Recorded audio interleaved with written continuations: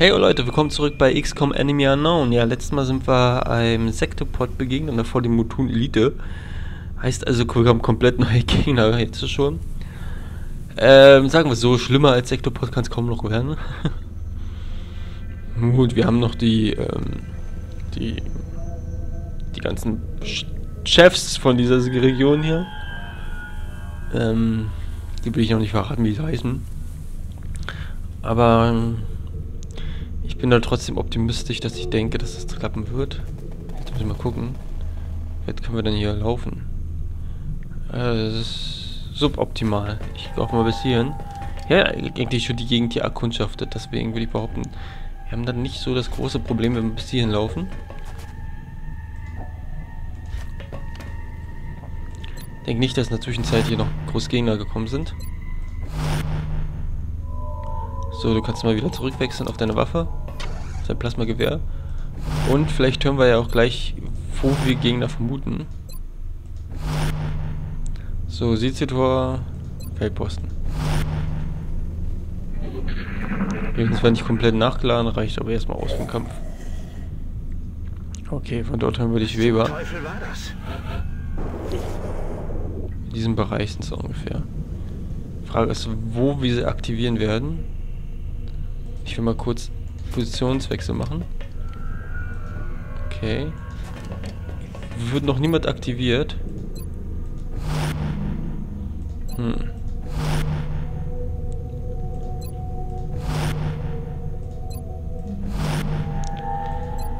Okay. Frank nochmal.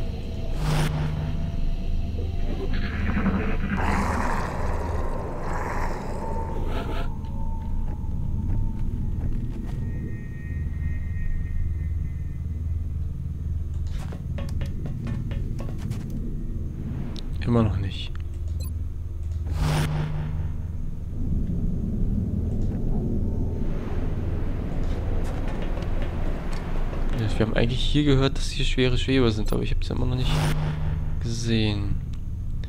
Ich würde auch langsam mal runtergehen wollen mit Kaliber. Aber ich kann die ganzen Flur so schön sehen. Mit Feld, äh, mit Teamview kann da natürlich ähm, ordentlich was reißen.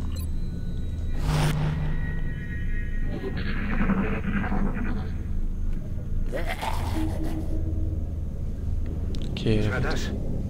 Das ist noch weiter hinten, wird gesagt.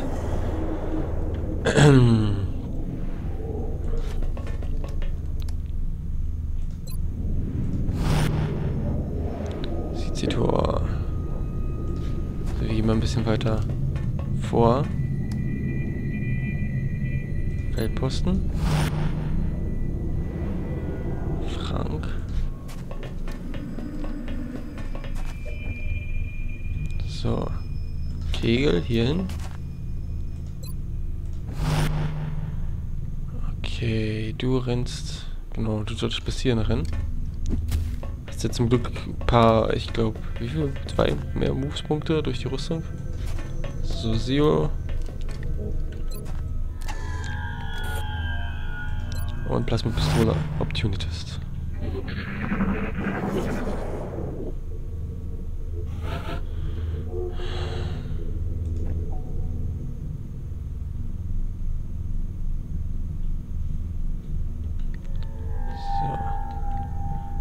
Eigentlich müsste ich die schon ganz gut sehen, wenn ich dann hier hingehe. Die sind immer noch nicht da. Verdammt, und ich habe gehofft, dass ich die hier erwische.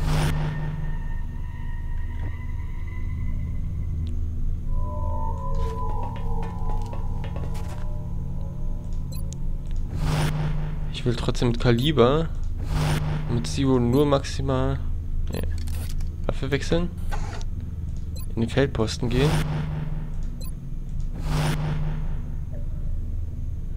Weil ich noch keine Lust habe.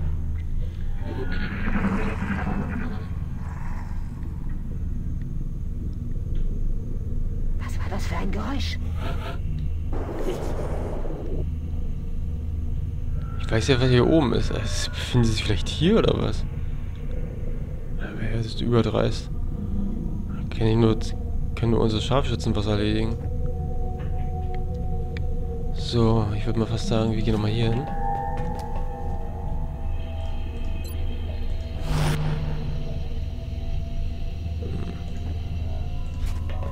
Jetzt noch ein klein bisschen vor. Jetzt müssen wir unsere Scharfschützen langsam vor.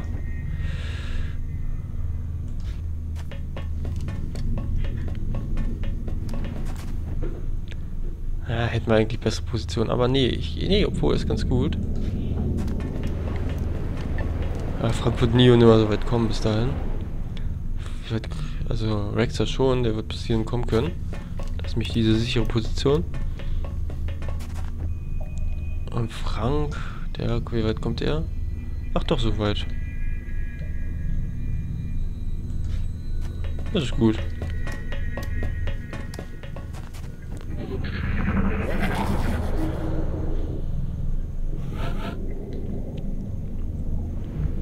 So, ich frage mich, ob die sich hier befinden. Sie könnten natürlich auch draußen sein, davon abgesehen, aber ob die sich da befinden und dann uns einen reinwischen wollen. Flugmodus.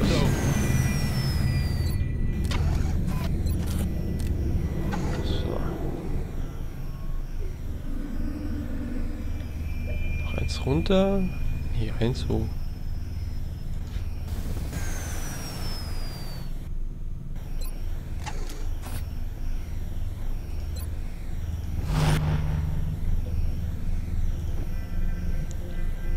Okay, Flugmodus aktivieren. Und...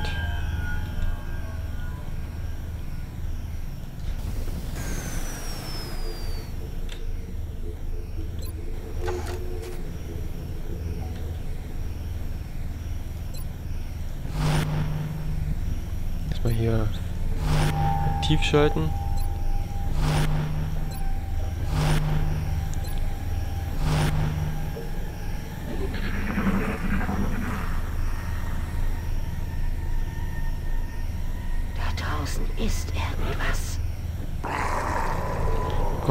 Flugmodus die wenigstens sehen zu können.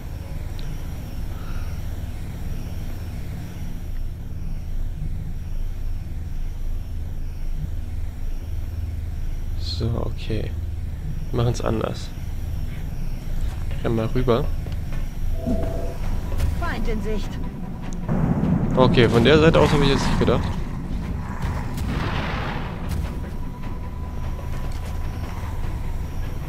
Würde ich sagen, wieder Gun and Run Prinzip. Draußen ist irgendwas. Und aktivieren den Feldposten. Größte Nachteil wird werden, wenn sie versuchen von der Seite rauszukommen. Dann sind wir teilweise ein bisschen geliefert.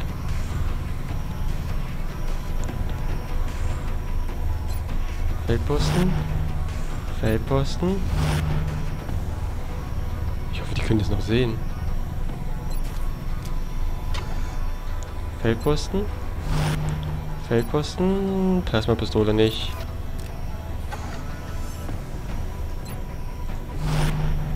Feldposten.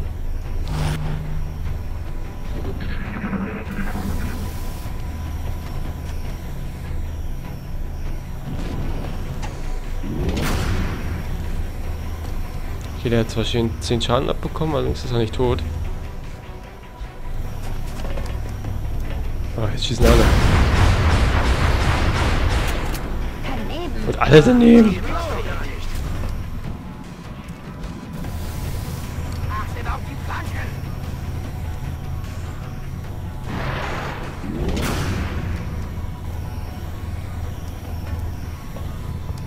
Nur dieser variierende Schaden. Okay, der kann bestimmt noch schießen, oder? Treffer. Aber sieht gar nicht mal so schlecht aus. Sieht gar nicht mal so schlecht aus. Sieht die Tor kann sogar alle sehen. Ist ja immer interessant. So. Wie sieht's aus mit deren Psy-Fähigkeiten? 87% Zu wenig Schaden mit Psy. Psy. Frank. 59 Prozent. 59. Den will ich am liebsten abknallen. Ja. Feind ausgeschaltet. Natürlich will ich Kegels Fähigkeiten gerne mal einsetzen weiter. Achso, wir machen einfach das hier. Ähm. Wo haben wir den? Genau, auf dem.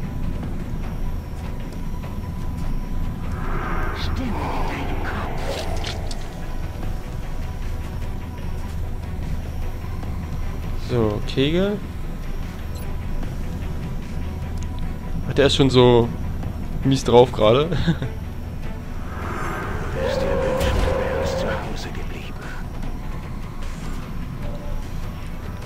Er denn abbekommen hier? Sechs Schadenspunkte und die können wir ja einfach wieder heilen. So.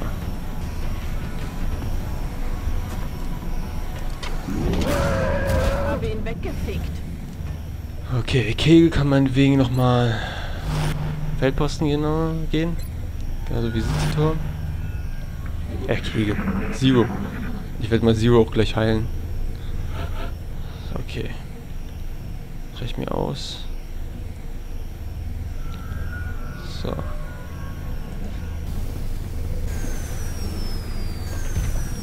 Ich lande. Gut, kannst ja meinetwegen nachladen. Bin bereit. Nachladen. Zum Angriff. Heilen. Stell dich nicht so an. Geh wieder raus. Ich mal, geh wieder raus. Frank kann auch mal wieder nachladen. Fertig und bereit. Nachladen. Bin bereit. Nachladen? Bin wieder da. Gucken, wo sie noch Geräusche hören.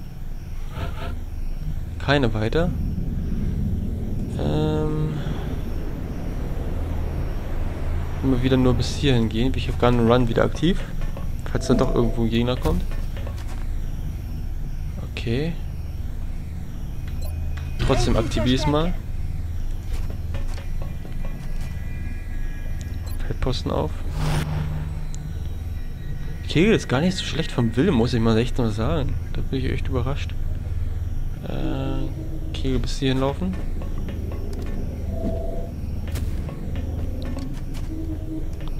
Wir natürlich leider, was mich ein bisschen stört.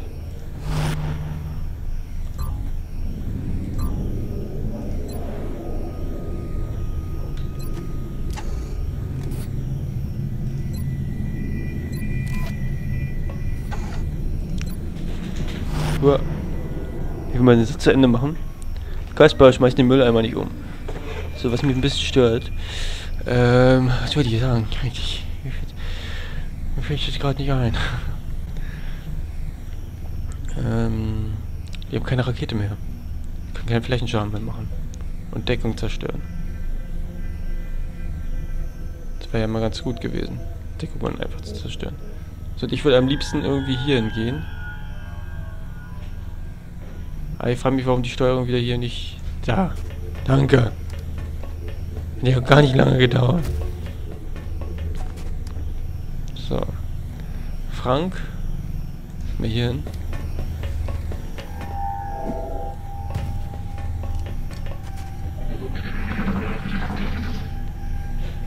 Ist klar, dass die Sektoiden da drin sind. Still. Habt ihr was gehört? Ach, nee, nee, sorry, nee, nicht, aber leider nicht.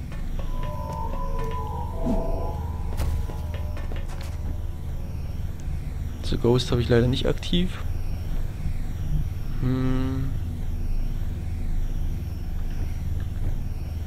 Aber laut meinen Prognosen müsste noch irgendwo ein anderes Team sein an Gegnern. Hm, da gehst du hin. Zwar runter. Genau.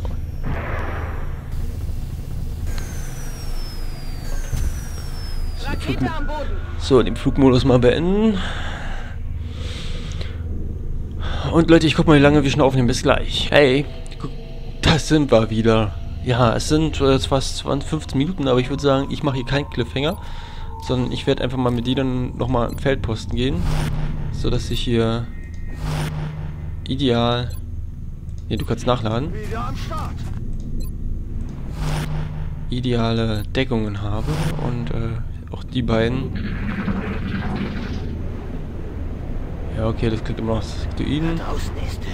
Habe ich noch irgendwas? Nein. Okay, du hast das Plasmagewehr. Plasmagewehr. Ich werde aufgrund doppelter Portion jetzt noch nicht auf äh, Feldposten gehen. So. Du müsstest es, glaube ich, besser sehen. Ziel in Sicht. Genau.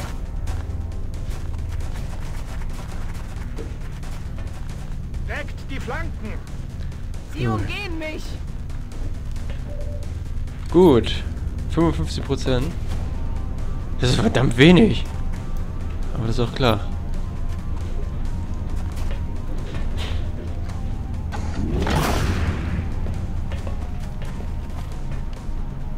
Doppelte Portion. Hätte nicht gedacht, dass wir das schaffen. Okay. Ich habe Gun Run leider nicht bereit, aber das ist auch für mich kein Problem. So, hier reinrennen. Und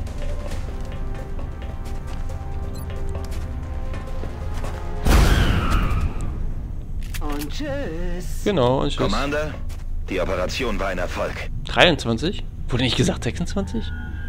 Vielleicht sind drei geflüchtet. Gottchen! Nicht so aufgeregt sein. Gut, Leute, ich glaube mal, wir fliegen wieder zum XCOM Hauptquartier.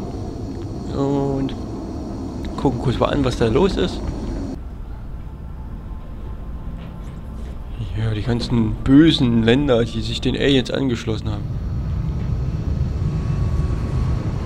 Kleine Katze komplett aufgeregt. So. Keinerlei Verluste im ganzen Trupp. Keine schlechte Leistung. Rexa hat es doch geschafft. Gedankenkontrolle, yeah! Brauchen wir gar nicht lange überlegen. Telekinesefeld ist zwar auch nicht schlecht. Erzeugt, äh, erzeugt ein unbewegliches Telekinesefeld, das auch während des gegnerischen Zuges ent- enthält. Das Feld verzerrt gibt so allen Feinden und Verbündeten darin 40% Verteidigung und roten Abklingzeit. Ist für Support ganz gut. So, Frank hat wieder ganz gut mitgemacht. Ähm, so. Heat-Munition. Wie viel hat jetzt eigentlich... Kegel hat drei gekillt. Na, ist doch nicht schlecht. Silesio 64, hat er jetzt schon mehr als Kaliber? Ne, der hat 71. Doch ein bisschen mehr Einsätze. Rexer hat 40. Frank hat 6 Kills, wie gesagt, gemacht. Ich habe gehofft, Kegel würde noch ein bisschen seine Psy-Fähigkeiten verbessern, weil wir das ja auch gegeben haben. So, Elite-Muton, Autopsie, Sektoiden-Autopsie. Wir haben, was haben wir alles bekommen? Sektoiden-Leichen, Anführer wieder 2, Schweber 3, Muton 5, Elite-Muton 3, Berserker 1, Cyber des Wrack 1, 3 Chrysalinen-Leichen, 1 Sektopod-Wrack, 4 Drohnen-Wracks, 126 Illyrium, 247 Alien-Legierung, wow, 66 Waffenfragmente, 7 Alien-Stase-Tanks, 4 UFO-Flugcomputer, 2 Alien-Chirurgie, 4 Energiequellen und ein Alien-Stase-Tank beschädigt. Da würde ich mal sagen, das nützt sich gut für den Schwarzmarkt. Ganz ruhig. So, ähm, Alien-Chirurgie kann auch verkauft werden. Stase-Tank. Wow, wie viel haben wir von den Dingern noch? Hab ich die letzte Mal gar nicht verkauft, oder was? 195. Ähm. Ein bisschen mehr habe ich schon gehofft, aber na gut. Wir könnten mal pro Motoren verkaufen, wenn wir wollen. Elite-Motoren sind 8. Kosten die? Sektorproc Frack 10. So, ja, Handel abschließen. Wir haben nicht die Ressourcen, um uns blind in eine Verfolgungsjagd zu stürzen. Wir haben eine ganze Menge Ressourcen. Ähm, Firestorm ist aber erst in sechs Tagen fertig. Und jetzt gehen wir in die Forschung. Die hat ja sonst keine Forschung mehr. Die Mutonen. Als wäre der normale Muton nicht schon problematisch genug, hielten die Aliens offenbar verschiedener dieser Eliten für spätere Phasen ihrer Invasion zurück.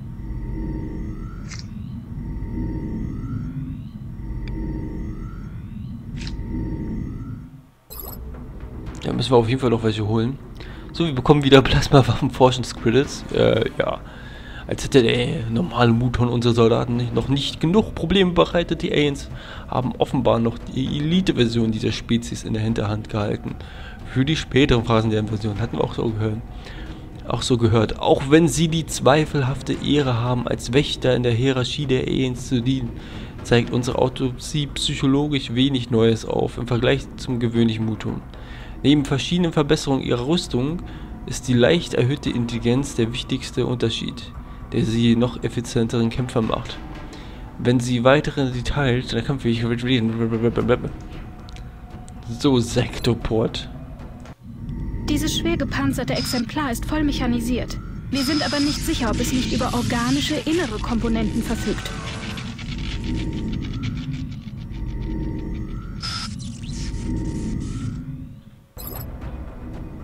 So. Auch wenn man diesen Roboter weder lebendig noch vernunftbegabt nennen kann, ist er in, sicherer, in seiner Umgebung doch erstaunlich bewusst. Wir arbeiten immer noch an den funktionellen Einzeleinheiten dieser Spezies. Aber jetzt, schon jetzt können wir sagen, dass es ein Meisterwerk der Technologie darstellt. Bei unseren ersten Versuch, Versuchen entdeckten wir ein extrem komplexes Programm, das in die Makroprozessoren eingebettet ist. Diese Kampfsteuerung macht den Sektoport in Verbindung mit ihrer beeindruckenden Größe zu einer ungemein gefährlichen Waffe. Diese Roboter werden von den gleichen Energiequellen angetrieben wie die UFOs und verfügen über unfassbar Zerstörungskraft. Das größte Rätsel aber dürfte sein, wie sie überhaupt kontrolliert werden. Weitere Details über die Einheiten bei Verbesserte Bau. So, Insektoports bauen zu können.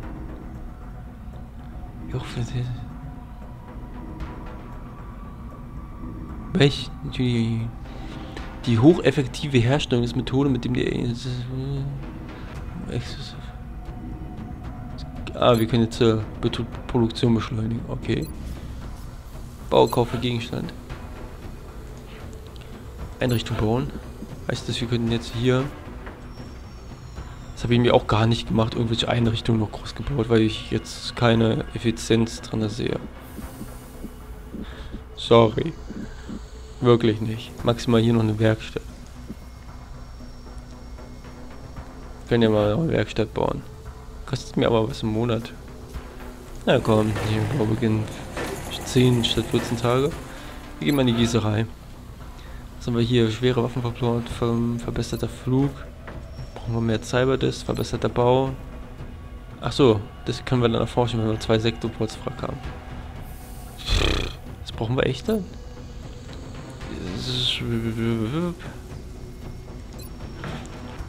Legierung, Waffenfragmente. Legierung,